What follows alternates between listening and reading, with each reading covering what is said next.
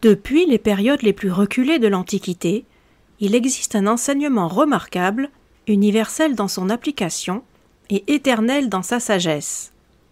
On en a trouvé des fragments dans le hiéroglyphe sumérien, ainsi que sur des tablettes et des pierres datant de quelques huit ou dix mille ans.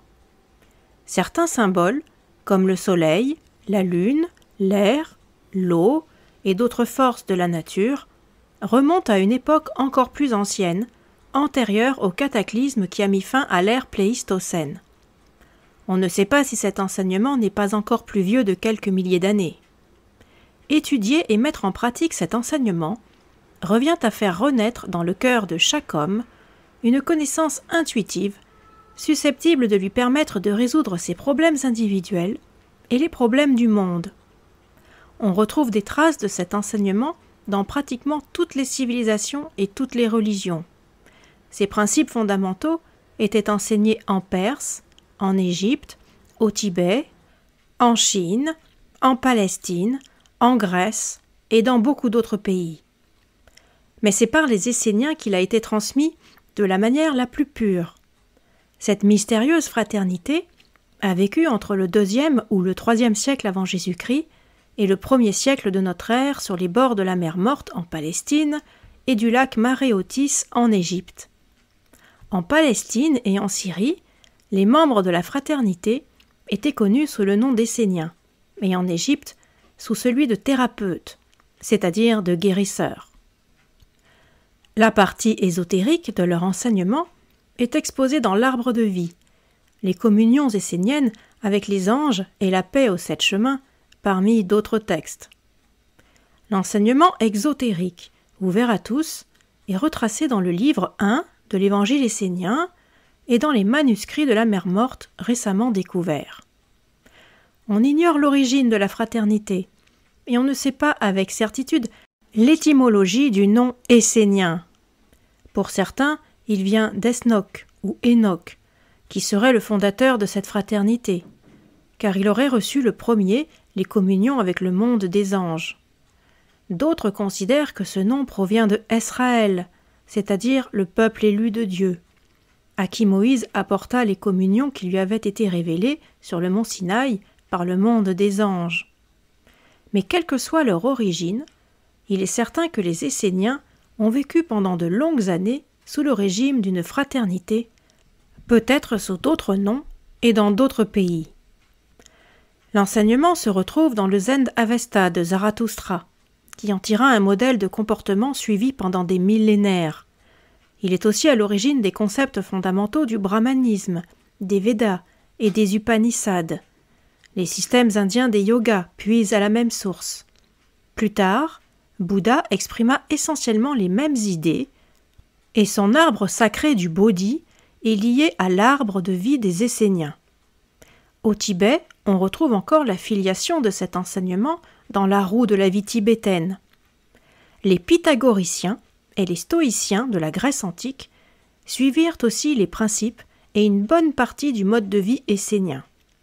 Le même enseignement était encore présent dans la culture adonique des Phéniciens, à l'école de philosophie d'Alexandrie, en Égypte, et il contribua à façonner certaines expressions de la culture occidentale, comme la franc-maçonnerie, le gnosticisme, la Kabbale et le christianisme.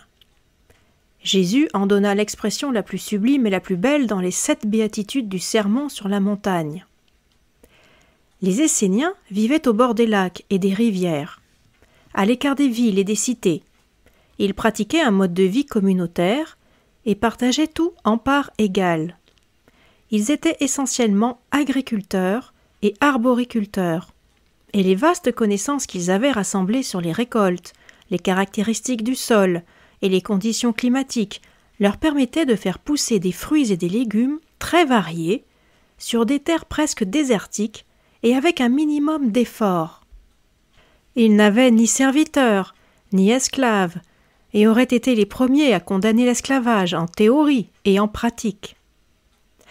Ils ne comptaient parmi eux ni riches ni pauvres, car ils considéraient ces deux situations comme des déviations par rapport à la loi.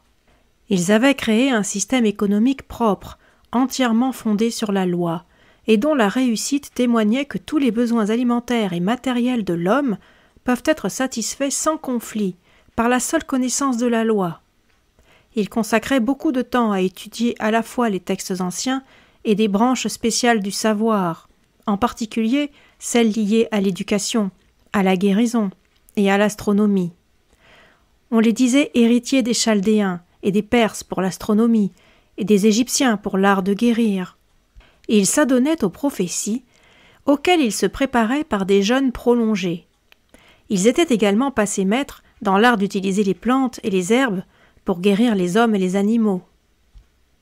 Ils menaient une vie simple et régulière, se levant chaque jour à l'aube avant le lever du jour pour étudier et communier avec les forces de la nature. Le bain matinal dans l'eau froide était comme un rituel. Ils portaient des vêtements blancs. Après le travail quotidien dans les champs et les vignobles, ils partageaient leur repas en silence. Ce repas était précédé et suivi par une prière. Ils avaient un profond respect pour toute forme de vie, ne mangeaient jamais de viande, ni ne buvaient jamais de boissons fermentées. Les soirées étaient consacrées à l'étude et à la communion avec les forces célestes. La journée commençait le soir, et le sabbat, c'est-à-dire le jour sacré, qui était considéré comme le premier jour de la semaine, débutait le vendredi soir. Ce jour était réservé à l'étude, à la discussion, à l'accueil des visiteurs et à la musique, sur des instruments dont des restes ont été découverts.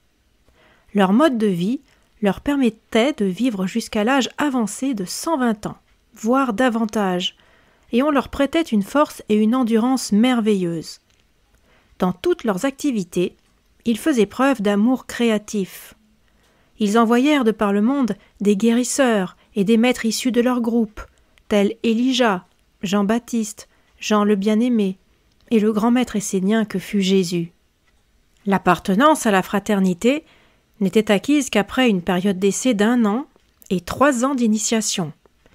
Il n'était admis à recevoir la révélation intérieure intégrale qu'après une autre période de sept années. Nous connaissons le mode de vie des Esséniens parce qu'en ont écrit leurs contemporains.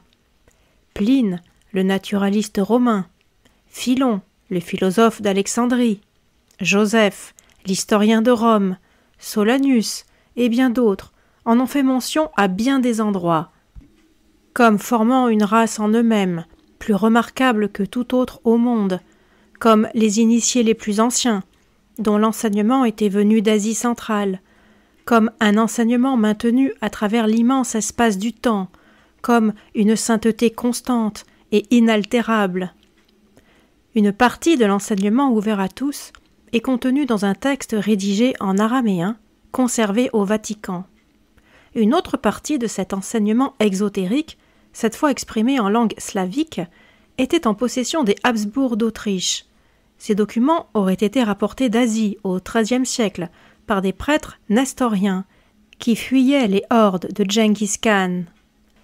Des échos de cet enseignement existent aujourd'hui sous diverses formes, dans certains rituels de l'ordre maçonnique, dans le symbole du chandelier aux sept branches, dans le salut La paix soit avec vous, en usage depuis l'époque de Moïse, et même dans les sept jours de la semaine, qui ont perdu depuis bien longtemps leur signification rituelle.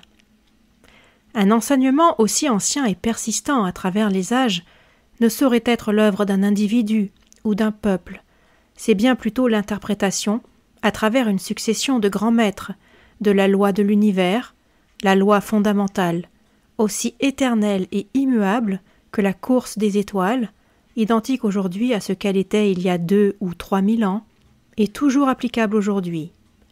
L'enseignement expose la loi. Il montre que l'homme se crée toutes sortes de problèmes quand il s'en détourne et indique la méthode à suivre pour les surmonter.